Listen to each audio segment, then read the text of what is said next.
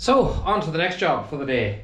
Uh, seeing it's still raining outside, my brother has been so kind to drop me up his tractor lawnmower. Kind of owe him a few favours, so I said I'd give it a full going over for him. So we're going to be servicing it. I've already got one of the blades off. Um, there's three blades on this particular mower. It's actually a 22 horsepower uh, Viking uh, mower. I actually had one of these myself. It was a slightly newer model. Um, that's the older type bonnet. Still a fresh machine. A very good machine. Very, very good machine. Um, I traded mine in because I bought an auto mower, a Husqvarna auto mower, which is super. I might do a video on actually on that um, next spring because a lot of people ask me about them. I'm going to do with this machine today. I'm going to do oil filter, fuel filter, air filter, and we're going to put a new plug on it. Basic stuff. Underneath, we're going to be taking off all the blades and we're going to be giving them a good sharpening as we're just about to start here now. He was saying that there's a, quite a, a rattle coming off it. My brother has a very big garden. It's quite steep as well, so he has this machine a while. So I'm just thinking that probably one of the pulley bearings is gone in it. So I'm going to have to drop the deck um, and have a quick look in there and see where which bearing it is that's gone.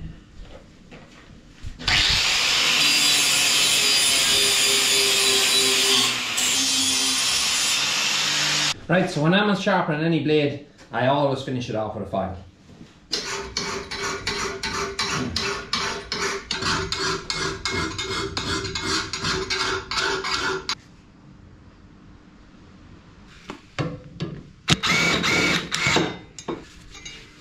Um, the disc I have on is just basically a sandpaper disc and it's gentle on it so it doesn't overheat the blade. You don't want to blue the blade because if you find any blue bits you're actually taking the temperament out of it and it will blunt far far more easily. Um, also you don't want to grind your blade back too much. You don't want to have a big long slope.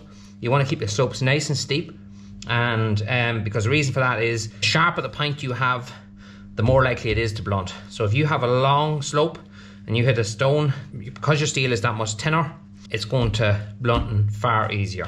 So keep your blades nice and steep. That way you have more steel there and they're going to stay sharp an awful lot longer. Next job, we're to replace this air filter. Now I've realised quite quickly that he has actually got the wrong air filter for it. That's for a newer type. That's the older type. So what I'm to do is take it off and just blow it out for now and he can go and get a new filter for it. So we put this back on, just leave it be for now. It's a lot cleaner. Next thing what I do is the plug. It's quite hard to get off.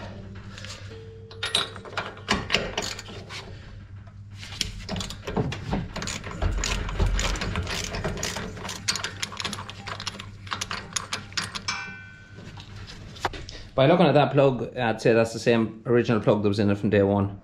Definitely could do it a replacing. Just wanted to make sure it's the same plug that he got. Yep, that's the right one.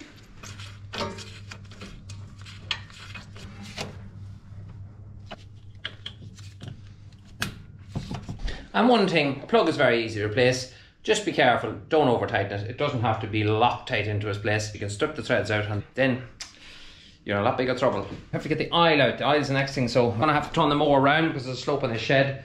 And uh, then we're gonna have to go off this filter here and slam a new filter in and fill it with oil.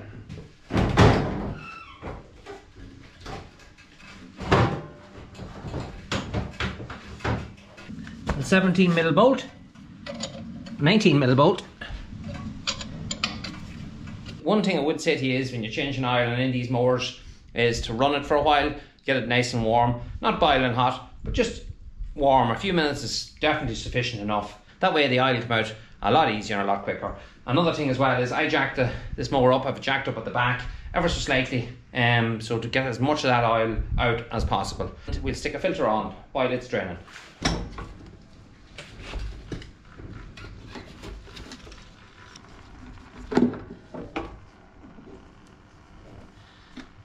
It's an oil filter, just always put a little bead of oil on the seal and it just softens the seal so you get a better sealed connection.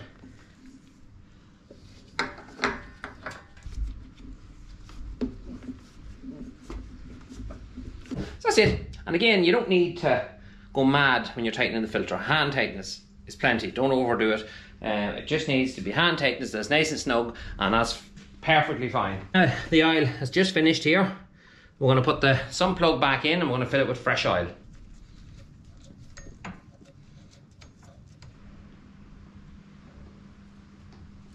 And we took the bonnet off because it's just a wee bit easier to access when the bonnet is off. Now, the next thing we're going to look at is, he mentioned this noise. We can get Hudson out of way here. As you see, I have two spectators with me who never leave me. And uh, a bit shorter room as it is. And I'm just going to have to walk around them. Anyway, he mentioned this noise that's coming into it when it's rattling. It's a rattling noise when uh, the blade is engaged. He thinks there's probably bearings gone. I haven't heard the noise. But to listen to it now in a few minutes. But first of all, I'm going to grease the front axle. And these guys here, these wheels are very, very loose. Uh, they won't tighten because the nut, the threads is gone the nut. So I'm going to replace the threads on both of these, grease the front axles, and then we're going to listen for this noise.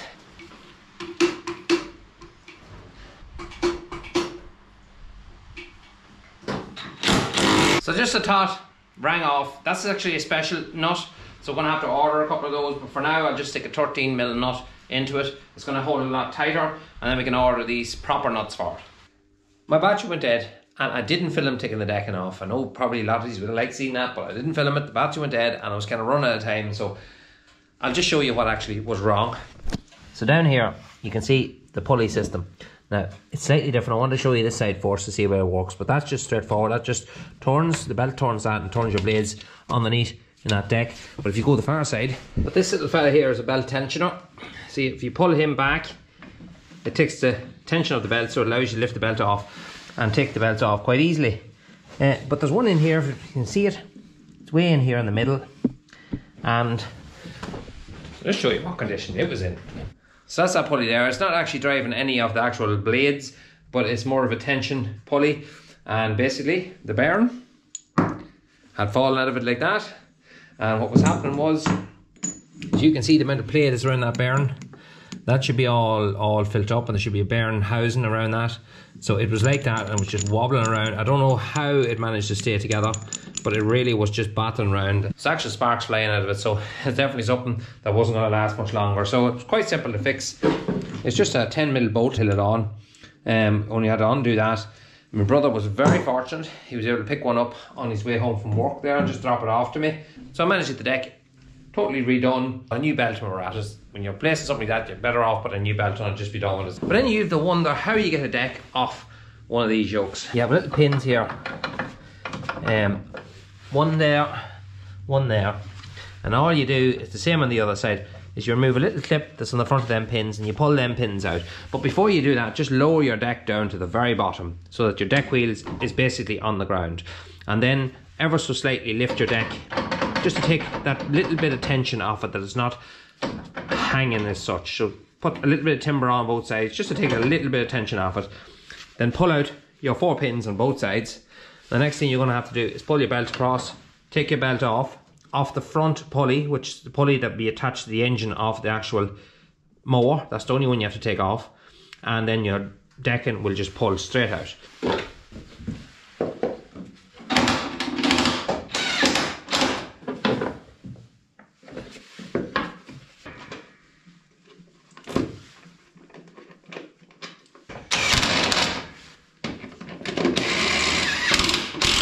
Oh yeah, I did do another little job on it as well.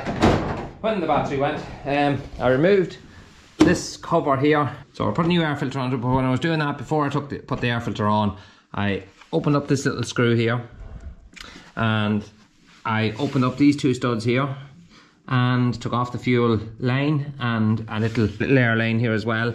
And I removed the carburetor and the carburetor actually is very easy to work on. Be very careful that you connect up all the rev bars and everything back into their proper place. So just take a picture before you take it apart. But all I done was remove the sediment bowl. It's quite clean actually inside, but I run some carburetor cleaning fluid through it and um, blew it out with an air line, blew out all the jets with an air line, put it back together again, and that was the end of all the sputtering. It's running lovely and smooth now. I know I would have loved to get that film for you, but just the battery just died at the wrong time. My brother was just putting a little bit of pressure on me to get it finished, so I have to do a bit of work on my own strimmer, um, probably in the next couple of days, and it's actually a more complicated. Uh, to take apart and clean and it's probably one that you'd be more used to seeing it's the same in chainsaws same in them all they're all generally more or less the same So I'll be taking that apart. I might just throw that into one of my videos, just show you how to strip down, fully strip down a carburetor and clean it. If you find that something that you might interest you, um, I'm happy to put that up.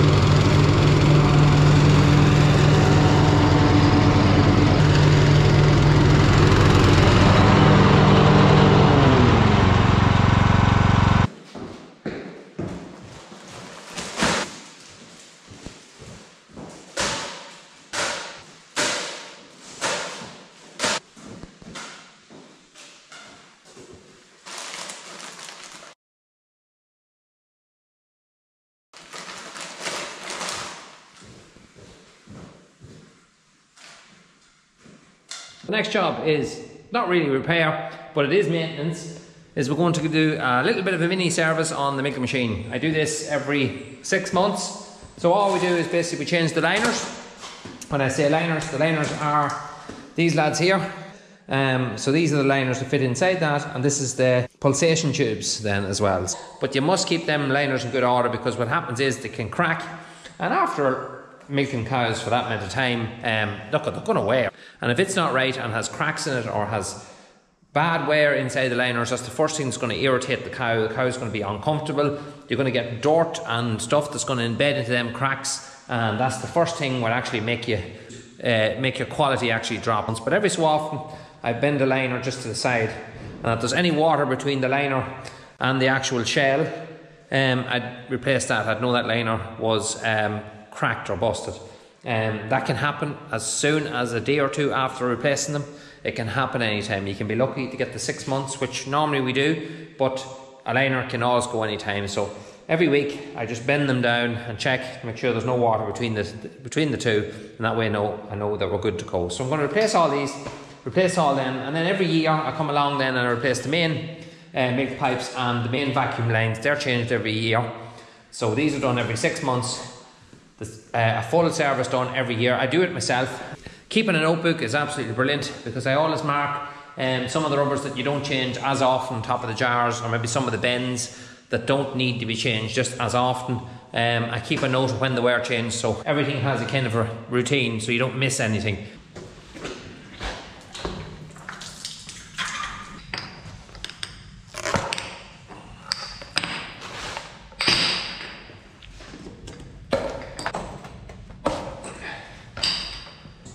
Good opportunity to give that main cluster head a good wash as well now because you can get in at all the nooks and crannies that you couldn't get in when the rubbers was on. So I'm going to do that now first and then we're going to take the shells out, we're going to wash them out and then we're going to put in the new liners.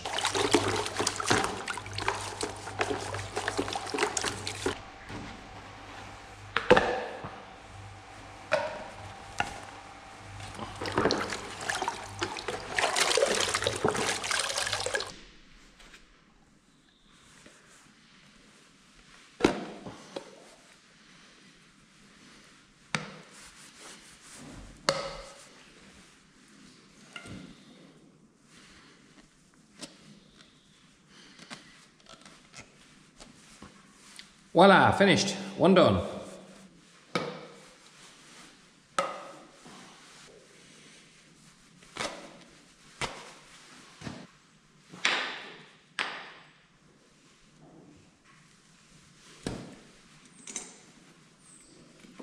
That's that wash unit done and ready for another six months of fun. Actually, these rubbers here are actually due to replace now here in another few weeks. I always do them every month in December when milking's kind of quiet. Um, it's a great time to go over the machine and give it a complete overhaul because by God, when we hit January, we won't have time to be doing any changes of rubbers or any of that kind of work because we will be sleepwalking with hopefully a healthy batch of calves being calved. So that's them all done.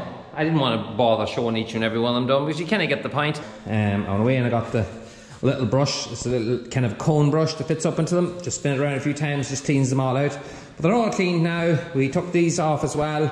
and we clean them inside. You can see um, little bits of, of stuff to get some of the threads and things just builds up after a while. We also took these jets down, we washed them out as well um, with hot water and everything's nice and clean. Now finally what I'm going to do is I'll hot wash through the machine and uh, that's going to take any contaminants that might be on the new rubbers and get rid of that, um, just clean the whole thing out and then we're good to go. So that's it, my brother just picked up his tractor lawnmower there. He's over the moon to hear it run as good as it is and to be honest with you, I'm over the moon too. It's nice when you get something fixed and it works well and it works out and that covers me for a couple of favours. What have I got in my hand? Well that's an LED light that I'm just after picking up and I'm walking over to the case but that's for another day. We're running out of daylight hours now so we're not going to be doing that this evening. We open the pit, don't want to show you too much of it. If I'm smiling about what the pit looks like now that it's opened, well then I'm disguising it because I'm not happy. I am not happy. There's, uh, let's just say, I'm not going to, no actually I'm not going to say anything. I'm not going to say anything. Wait till next Sunday.